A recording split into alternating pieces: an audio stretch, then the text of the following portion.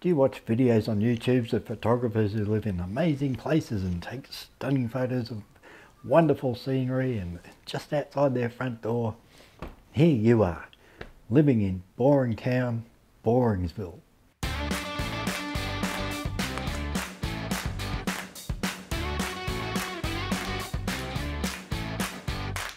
G'day. You know, it's just one of these strange quirks of life.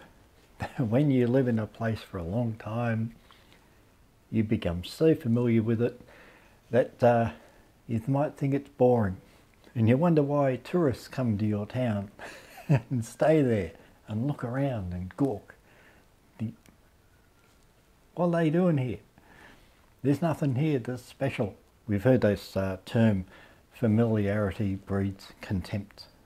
well, there's some other quotes along those lines. Familiarity leads to boredom. and uh, when you're so familiar with a place, you might get so bored with it because you've seen it so often that it's normal, it's ordinary, there's nothing special there in your eyes anymore. L. Frank Baum said familiarity with any great thing removes our awe of it. I mean, where I live, it's extremely rare to see any uh, aurora australis lights in the night sky. And then I think, wow, wouldn't it be great to live in some place where you saw that so often? You'd be out there photographing all the time. But people who live in those places, they're not out there photographing it all the time because they see it all the time. They're familiar with it. It's just ordinary part of their life, not worth picking up a camera for. Here's another quote along those lines. Familiarity may breed contempt, but perhaps it would be more truthful to say that familiarity breeds blindness. The more you see something, the less you see it. So maybe instead of hankering to go to far off places that you haven't seen before, that you think are amazing compared to where you live, re-look at where you live, rediscover things, see them through uh, maybe new eyes. One of the exercises I do as a photographer is uh, when I think everything around me is boring and uh, I'm getting a bit down that uh, there's nothing around here to photograph, I challenge myself.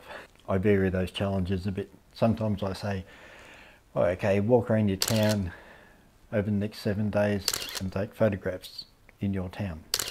Okay, that's, that's good and wide ranging.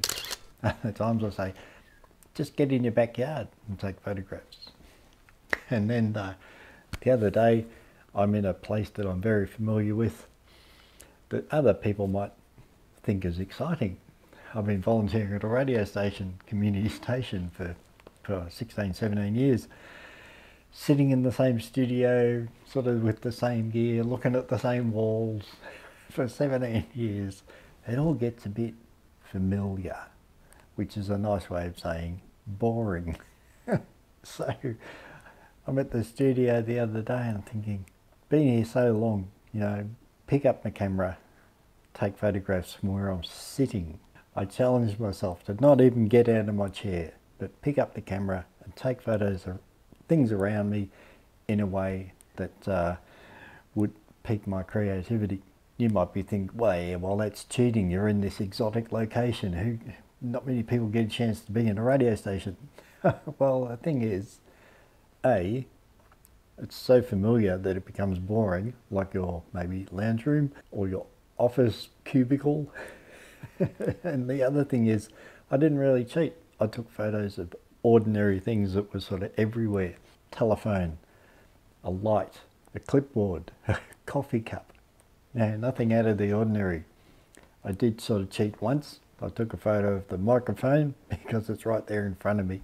But really, just about all the pictures I took are things that you would find in any office, sometimes any home.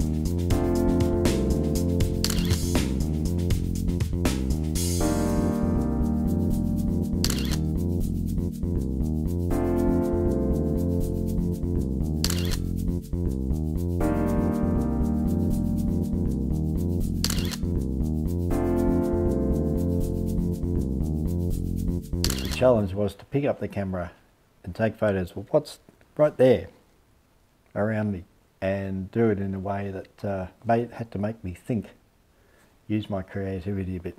And that's my challenge to you when you're sitting there thinking, oh, this place is so boring, I wish I was somewhere else.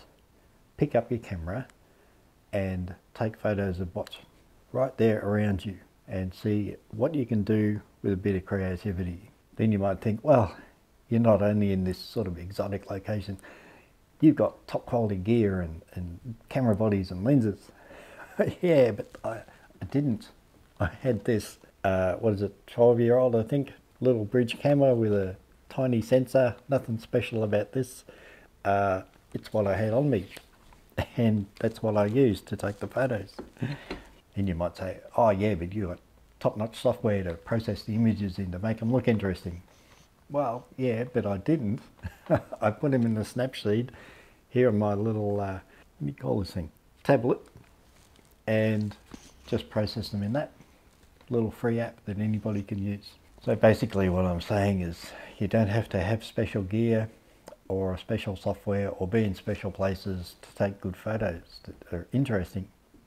You just have to challenge yourself to see things in slightly different ways, to open your eyes again to the familiar and see the special in the boring.